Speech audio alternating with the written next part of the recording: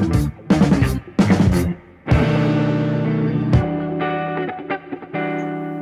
も、デラキラスです。そして、はい、加藤祐希です。通称加藤祐です。エランド加藤祐の？ガンガンラジオラジオイエーイイェーイ最初言ってなかった。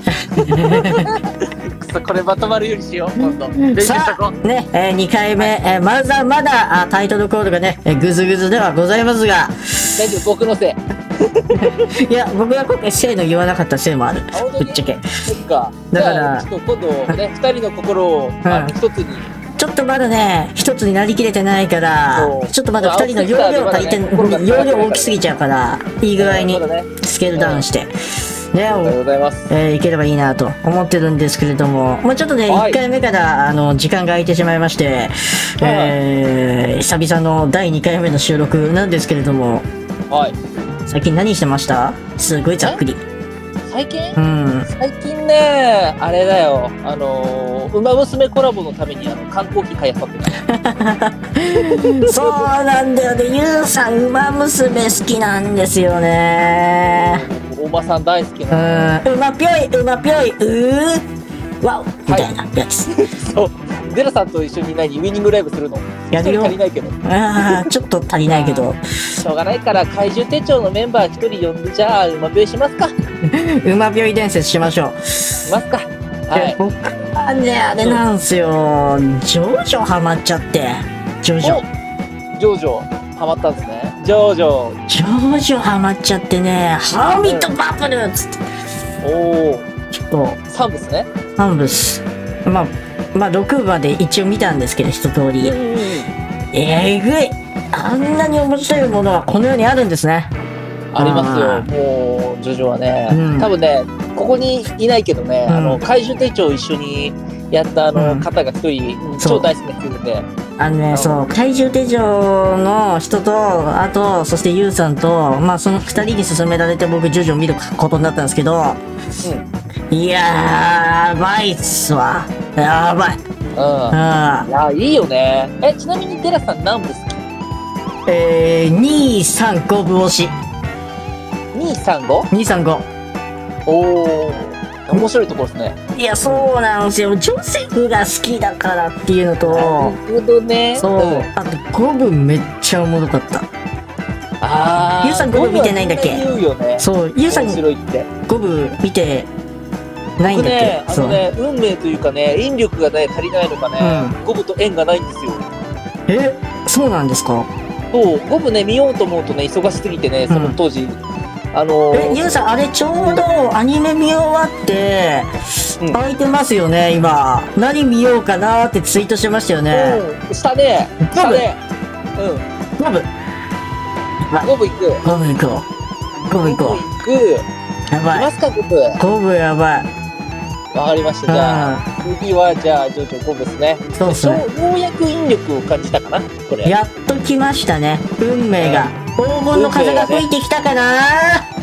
風がね、黄金の風が。わかんないよ。僕が見ると黄金のそよ風かもしれない。っていうところでね、やばい、ジョジョの話だけで1時間くらい経っちゃうよっていうところでね別の回の時にあのあの方をお呼びしてゲストに呼んで喋りましょう。あ、いやでもあの回来るとまた、また違う話で弾んじゃうから、これまた難しいぞっていうところでね、ね。えー、そろそろ行きましょうか。はい。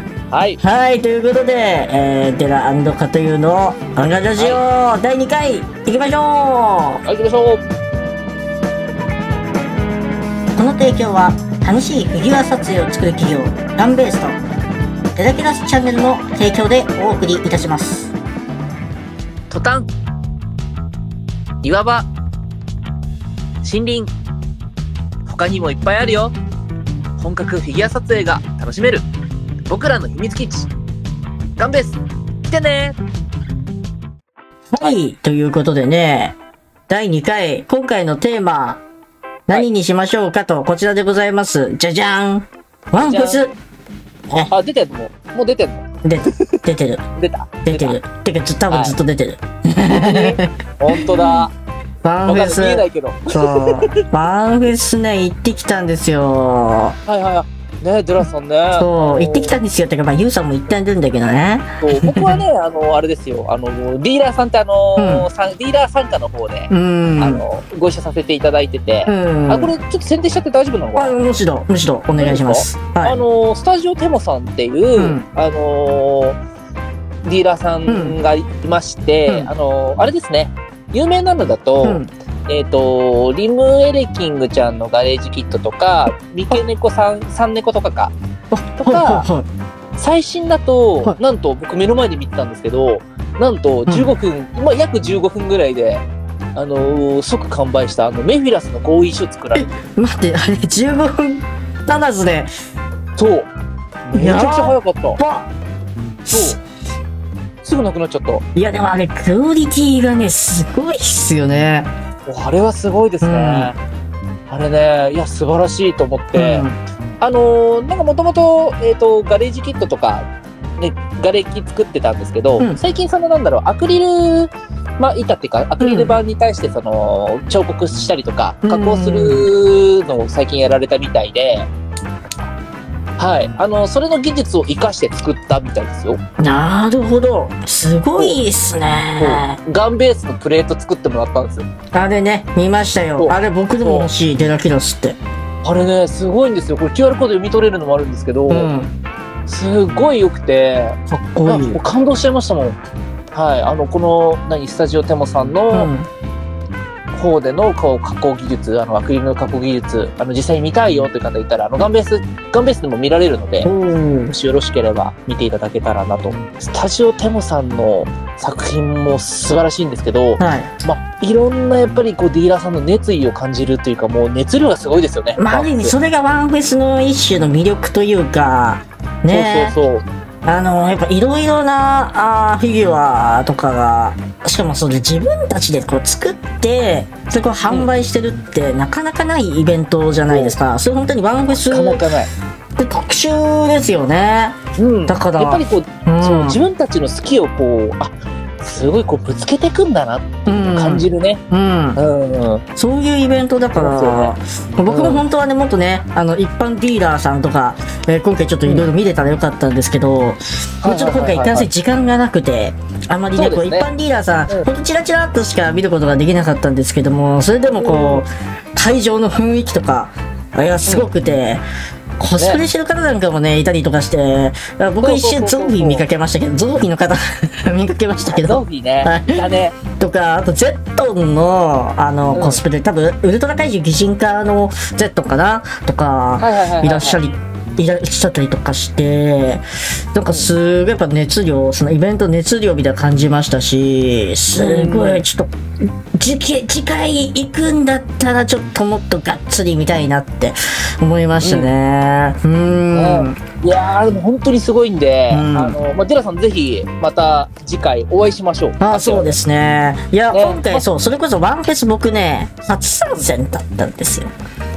そうですよそう。ね言ってましたもんねっ。ていうのがあって、うんあの、まあ、えー、つぶらやコンベンションと同時開催した、そう、つぶらやワンフェスは行ったことはあったんですけれども、ワンフェス、えーそうそう、ガチのワンフェス。これはあれだったっけ？東京ドームシティの方ドブルスの、でしたっそうそうそう。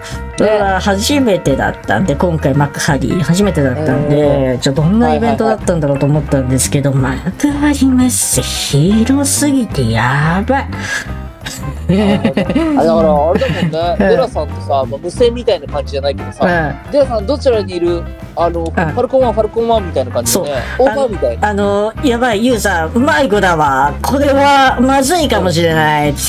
あの、僕はユウさんと多分落ち合えないなって思いましたけど、うん。まあ、なんとか落ち合えたんですけど、なんとかね、うん。そう、やばい、ユウさん、やばい、あの、本当に、あの、広すぎてわかんないわ。ずっと、ユウさんに LINE しながら、そばよ。そうそうそうそうそう。デラさん、デラさんどこ？って、うん僕は今車の前にいるよっつって、デラさんその後ね、うんあの、連絡つかなくなって、デラさん、デラさんのグラさんの反応が消えたって。あのーあれって確かグッスマさんかな？そうですかね。グッスマさんのブースらへんだったかな。で、ね、あの、会うことができて、あ、よかったなって思いましたけども。そう今、ちょうど、あの、ドラゴン、僕の推しのドラゴニックキャノン見てるとこです。そうそうそう。まあ、それはドラゴニックキャノンのねそう、写真もね、多分今出してるんじゃないかなと思うんですけれどそも。う、多分デラさんが出してくれてるうん、。あのちょっと展示の話もちょっとチラチラっとね、したいかなと思うんですけど。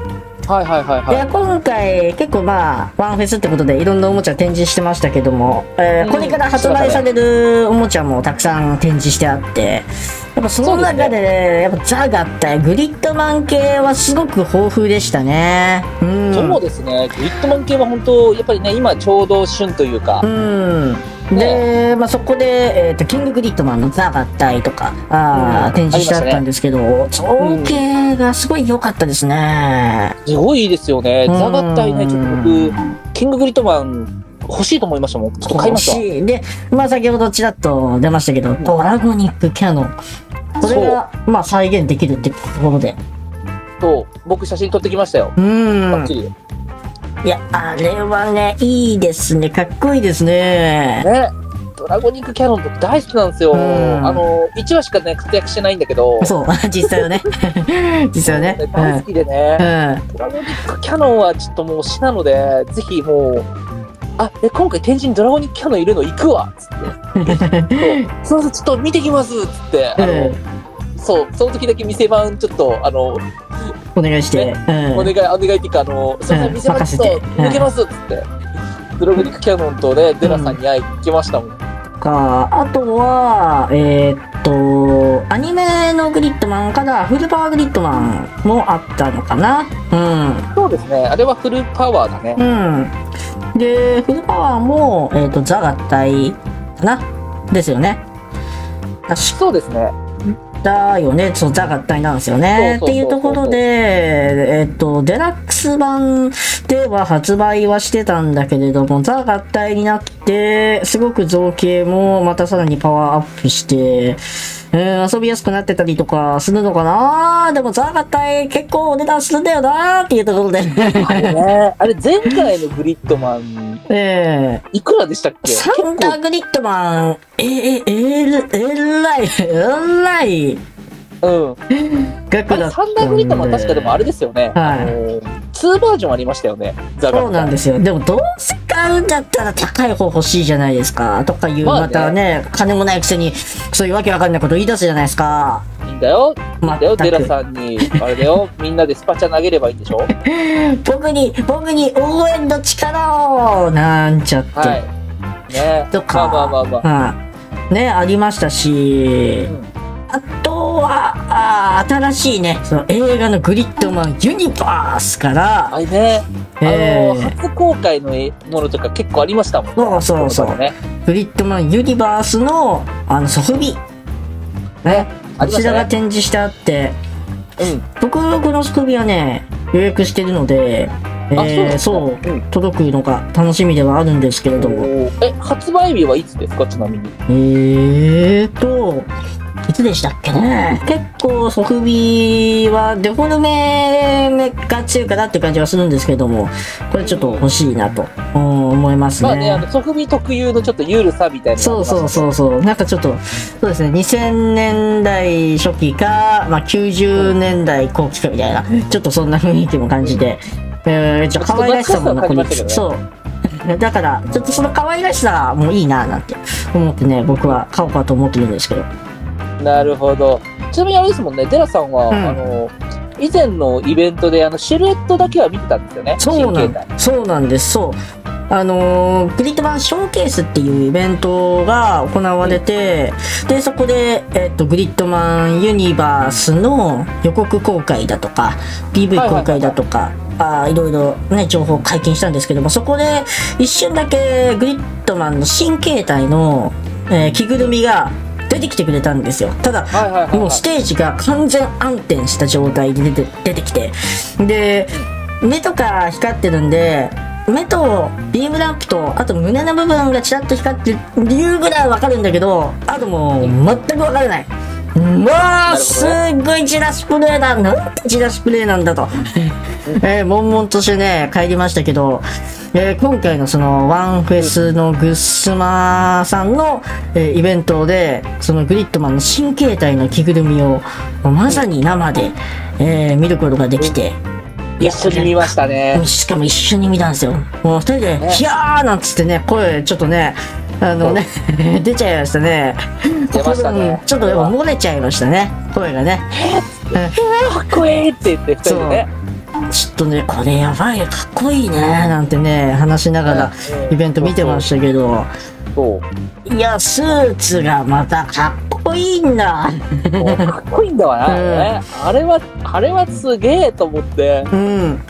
すごいメタリックギラギラで、ねえ、なおかつアクションも結構できるような作りになってるみたいで、そうそうそう、らしいですね。うん。それこそ多分前回のグリッドマンだとかグリッドナイトに比べても、あの、うんアクションが多分やりやすいっていう、うんう。ん、聞きましたし、あとは、さスーツのクオリティ自体も正直、えー、上がってますよね。上がってますね。僕は結構、あ、出来いいなっていうか、もうちょっとね、デフォルメの効いた感じになるかなと思ったんだけど、バリバリにかっこよくて、うん。ああ、これはちょっと、もっと近くで、ちょっとグリッドマンと一緒二人でツーショット撮りたいみたいなね、思っちゃいましたけどね。うん。あの、カラーリングの配色うが、ん、あれなんですよね、あの、タカラトミーの、うん。やっぱりその、まあ、もともとグリッドマンの企画って、その、ほら、タカラトミーの、そうですね。まあ、当時、カラーとか。うん。そうそうそうそう。まあ、当時だとタカラか。うん。やっぱりその、それ系統の配色というか、パーツの配置してるから、んすごく懐かしい姿をこう持ってるなと思いましたね。なるほど。そうそうそは、やっぱこう、いろいろ数値とか見てると、あ、この辺が多分、ダイナドラゴン的な、ダイナドラゴンじゃねえか、ダイダイナレックスか。えーレックスの、まあ、パーツだったりとか、グリッドナイトとか、結構その辺の、雰囲気を感じるな。まあ、多分合体、合体なんだろうな、みたいな感じましたし。う。う。うんん、映画でどういう風に活躍するのか楽しみですよね。ね。うん。劇場版もだってもう、1ヶ月？うわぁ。あと1ヶ月ちょっとですか？ねうん寺さん何回見る？いやー、近所の映画館でやらないっていうのは一つネックなんで。それでもね、2回以上見たいかなとは思ってはいるんですけど、うーん。いや、なるほどね。まず新形態って名前しか、名前も出てないし、ちょっと、ね、どういう名前のね、うんグリッドマンになるのか楽しみですね。楽しみですよね。とか、うん。えー結構イベントもね、その豊富で、グリッドマン本当おもちゃ関連もね、たくさん出てましたし、えーうんイベントもすごい楽しくて、えー二人でね、盛り上がっちゃいましたね。楽しいこれ、つってね。で、あの、僕は、途中で、あの、ブースの方、あの、戻っちゃったんですけど、うん、あの後ね、あの、グリッドマンのイベントの後はね、大石さんがね、そうそうそう。単独でやられてたんですそう、オよね。ットで、えーやられてたので、大石正義さんと、あと、トムハックさんが、えー登壇されて、そう、なるほどね。えー、ちょっとね、歌を歌われてたんですけど、あー今回、まあ正直それ目当てで行ったところもありましてね、ほうほうほうほう。えー、大石さん、そう、大石さんずっと好きだったんで、いや、生歌聞きたいなと。せっかくなんでちょっと行こうかなと。ゆうさん、ゆうさんに会えるし、大石さんに会えるんだったら、ワンフェス行くかーって いう今回動機で。そう、正直ね行ったんですけれども、そう、ユウさんに会いに行くよ、つって。ん本当につって。いや、あのね、大石さん、えぐいわ。口から CD 音源。ああ。あの全ね、体的に若いよね。トークもキレキレだし、見た目もかっこいいし、歌がもう、やっぱうまいなんていう言葉でちょっと形容しがたいものがありましたね。そうねうん。そう、グリッドマンの、えっ、と、ブースというか、イベントの時も、一曲、インパーフェクト歌ってくれて、あれは一緒に聞きましたね。とで、その後、えっ、と、 OxT の回では、えー UNION も歌ってくれたし、あと、あオーバーロードの、うん曲も2曲歌ってくれたんですけど、はいはい。あ、オーバーロード担当されてるんですね。そう、オーバーロードは OxT なんですよね。で、僕、 HOLLOW HUNGER 好きなんですけど、 HOLLOW HUNGER も生で聞いて、うわーすげーと思って、ちょっと興奮しちゃったんですけど、なるほどね。いや皆さん、が大興奮したと。やばかった。大石さん、ちょっと、あのね、歌がうまいなんていう言葉じゃ形容できないぐらい、うん。うますぎた。馬になっちゃったわ。うん。うますぎて、うますぎて馬になっちゃったわって。なんかもう別の動画だね。っていうぐらい、ちょっとすごかったですね。なるほどね。うーん。ちょっとそれだけでお釣り来るぐらいの満足度はありましたね。うなるほん。どね。というところで、いやパンフェスね、すごかったですね。すごいでしょう。うん。ま新型コロナの影響もあったんで、だいぶ、あのー去年とかかな、うん。やっぱりこう、人数少なかったりとかあったんですけど、うん今だからちょうど全盛期とまではいかないのかな、うんぐらいではあるんですけど、うん。だいぶお客さんも戻ってきてて、うん。うん、すごい楽しいイベントになってますね。あのいやー、まあ、他にもね、おもちゃ、いろいろ展示してあって、えーその辺もちらちら残り時間で、えー見てきたんですけれども、僕、そうですね、個人的に気になったおもちゃが、まあ、ポッパレの、あーまあ、ムジナさんかなはい。あのーステージでも言ってましたうね。ん。うん。これはいい太もも、太ももですかね。ムジナさんねはい。えまあ、これちょっと買おうかな。あでも僕ね、ほんと、ーでも、高いんでしょ？こっぱれはね、安い価格で揃えられるんですって洗脳されました。はい。なるほどね。わかる。金銭感覚おかしくなるよね。そう買いやすい価格、かっこ5000円。まあ確かに買いやすいけどあ買いやすい、まあまあまあうん買い買いやすいけど、うん、みたいな。まあでも実際ね、出来も結構いいですし、僕はガウマさんとか、あと、ゆめさん、ちせちゃん持ってるんですけど、いい出来ですね。で僕僕一個一個苦言を期待したいのはあのよもぎくんとこよみくんを出していただきたいなと。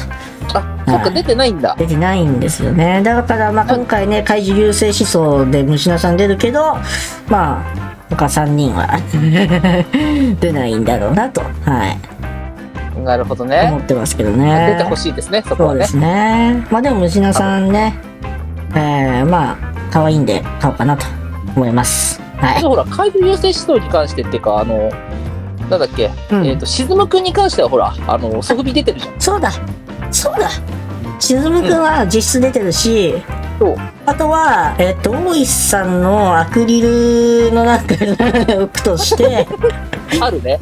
あとはトレギアを着ればいいか。そうね。あ置いとけばまあいいか。できた。あ、できた。怪獣優勢思想が完成しました。完成しましたねはい、おめでとうございます。はい。それでいいのか。トレギアのアーツで、ピースがパチッとはまりました。いいのかな？ーって。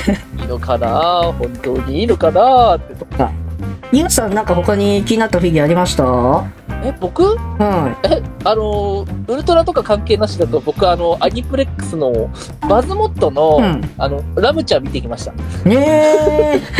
すごい出来いいなと思って、最ラムダッチャーあそこ頑張ってる。はダッチャー頑張ってるっていう。い。それはちょっといいですね。今ちょうどね、アニメも放送してますし、そうそうそう、やってるんですよね、今うん。ね。まあ、それつながりで言うと、うん。あの、 figma スミペ。あ、いましたね。 figma スミーペ。うん。あれで、僕写真撮ってきましたよ。ちょっと気になるな あれ、あれでしょ、うん衣装変えてカルミラさんになるんでしょ、みんな。まあ、実質、そう、 figma、カルミラさん？うん。そうでしょ？アイドルバージョンでしょ？そうそうそう。だから、ちょっと気になるなーっていうところはあるんですけれど、うん。うん。あとまあ思いますね。は、そうですね。そう、あとね、僕ね、気になったのね、ありました。あのお、ガレージキットかな？の CCB の、あの、シン・ゴメス。あ、はいはいはいはいはい。僕も見ました見ました。あれすごいですよね。いやー、いいですね。ついにシン・ゴメスが。ゴジラじゃん。これはかっこいい。劇場で見たときに、うんと思いましたけど、いや興奮しましたね。一発目で。やったかんのって思いましたね。ね、ねこれちょっと、うんまあ、ガレージキットなんでね、あの、塗装技術とか、まあ、必要になってくるんで、ハードルはちょっと高いですけど、えー、素晴らしいフィギュアだったのと、うん。あと、僕がね、気になったのね、あ、これですね。えー、ギガンティックシリーズのうん、ウルトラマンの C タイプあ、はいはいはいはい、はい。なんですけど、これジェットビートルを構えてて、うん。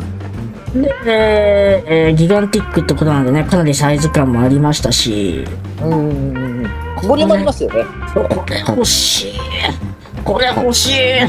絶対高いけど、これ欲しい。あ あ、あれでしょ、うんテラさん、そんなこと言って買っちゃうんでしょいや、ギガンティックのセブンをね、僕、ギガンティック1体だけ持ってて、それがまあセブンなんですけど、はいはいはいはい。めちゃくちゃかっこよくて、ずっと、あのデスクの横に置いてるんですよ、パソコンの。はいはいはい。あ編集用のねそ。うそうそうそうそう。で、これ買っちゃったな、これ最高やで。マンとセブン、やっぱ揃えたら、やっぱ1個ね、いいなってとこあるじゃないですか。とりあえずは。うん。うん。うんうん。ああ、これ欲しいな。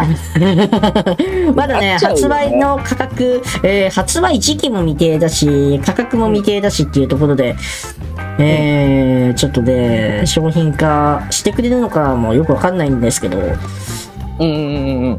気になるなーっていう欲しいよね。欲しい、欲しい、高そうだけど欲しい。って感じですかね。なるほど他ね。にもね、ワンフェスね、いろんなおもちゃ展示してあって、うん結構ね、えー、ウルトラとか、グリッドマンとか、それ以外もパシパシと写真撮ったりしましたけど、楽しいですね。はいはい楽しいですよ。なんかいろいろんなものがあるじゃないですか。うん。で、多分触れないものもあるじゃないですか。ありますね。だから、なんかそういう普段触れないだとか、見れないものが、やっぱたくさんいろんなジャンルがやっぱもう、すごいもう乱立してるんで、うん。いやー、すごくね、いい体験だったなーってね、思いましたね。いや、よかったです、デラさんがそうね、経験できていろいろ。ちょっと、だから次回開催決定してますし、そうですね。うん。またね、ゆうさん、ゆうさんに会いに行こうかな。本当に？やったー。じゃあぜひ、あの、僕、あの、また、あのースタジオテモさんのブースにいると思うおので、ーじゃあちょっとまぜひお越しくだた、さい次回、次回多分夏かなうん。そうだね。夏、夏前かな夏前かなな、多確分、ね、また開催、次回開催決定したみたいなので、ちょっと次回も行きたいなーなんてね、えー思いました。はい。アンフェス楽しかったです。はい。はい楽しかったです。